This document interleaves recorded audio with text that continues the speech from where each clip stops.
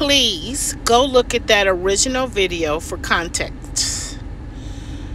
They are discussing critical race theory and how there are two bills currently on the floor one that includes the original one that includes Martin Luther King and um, Sue, what's her name? Sue B. Anthony.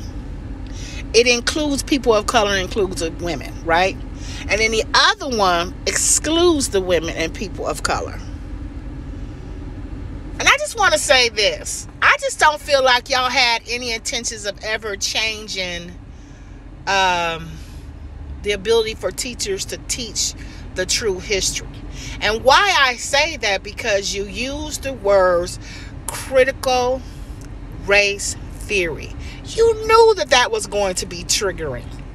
Why not just say you all were going to tr- allow for the true history to be taught in the schools about this corporation? And I do say corporation because America, it's not a country. It's a corporation. It's a business. And our government is the head CEO of all the bullshits, all of the damn shenanigans. But again, back to my point. If they truly were interested in teaching history to our children, then you would have never used the word critical race theory, which will make racist white people go into a frenzy, which is exactly what we got now.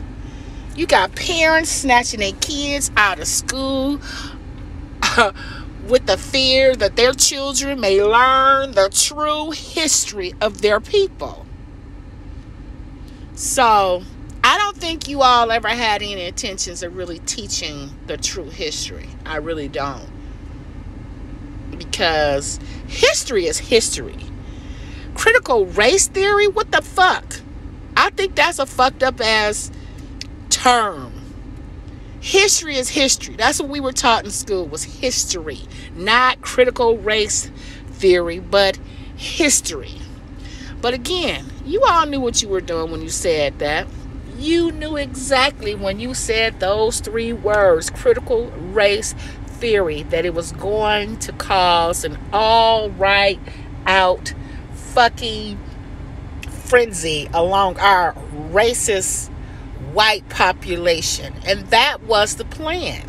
Because as long as they're fighting against you using uh, teaching the critical race theory, they get their way. You